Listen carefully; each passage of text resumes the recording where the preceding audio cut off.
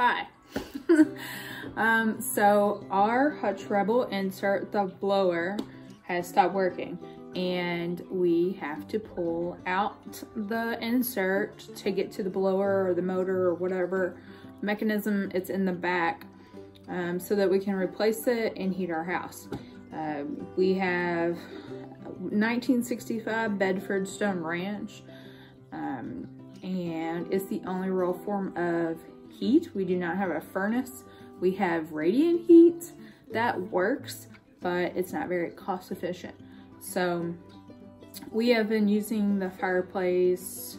Um, it's a wood burning insert, um, probably about a month, maybe.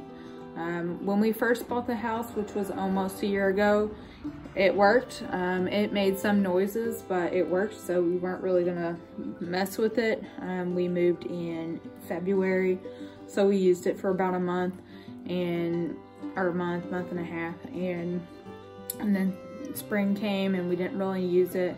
Um, and now it's December, so we need heat. Um, like I said, the radiant heat works, but it's just our first bill was like $400, which we are in Kentucky, so that to me is a lot. Um, so we're pulling this insert out. Sorry for the long exp explanation. Um, and thanks for watching. I couldn't find any videos really of someone pulling it out um, of a fireplace.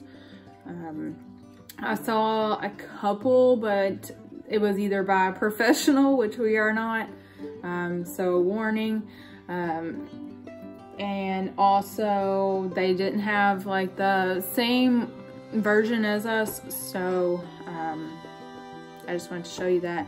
It's not a slam insert, uh, doesn't look like it, which is illegal or not up to par, not up to code. So um, it's connected to a vent, um, but it's like cocked or welded, and maybe not welded, because we're able to pry it off a little bit. Um, so that's been a little challenging. Um, I haven't really done most of the work. I'm just a foreman for the most part.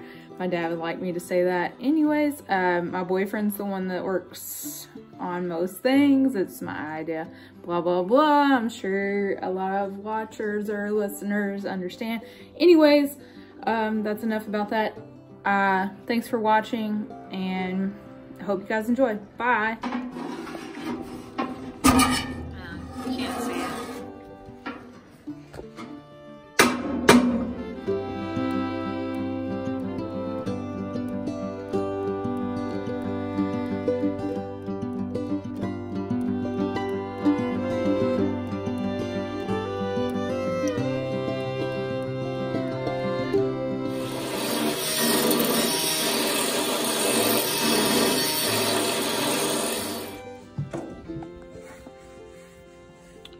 Oh, so this is the motor.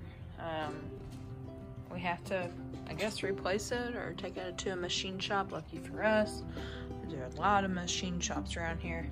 Um, we'll just replace it. Um, we'll probably have to do some flue work uh, because just to get it up to code. Um, anyway, there it is, and thanks for watching.